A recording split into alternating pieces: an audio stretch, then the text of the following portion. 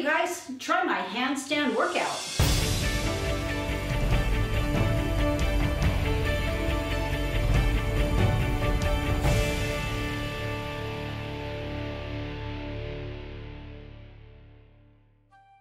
For this workout, try to do anywhere from 5 to 10 reps, 3 rounds.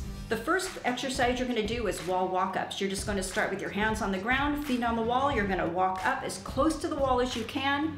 Try to hold that, walk your body back down.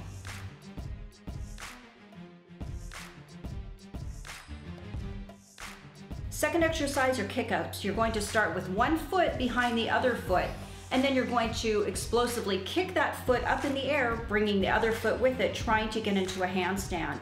When you're going back down, you're gonna bring that foot right back to the start position behind the other foot.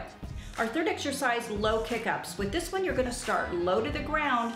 You're gonna drive that knee and really think about kicking that leg up towards the ceiling, and then you're gonna land back down with that knee. Our fourth exercise is kickovers. What you're gonna do is you're just going to stand facing the wall. You're going to put your hands on your on the ground. You're just gonna kick your feet up. Just try to get an isometric hold, and then you're gonna kick your feet back down to the ground.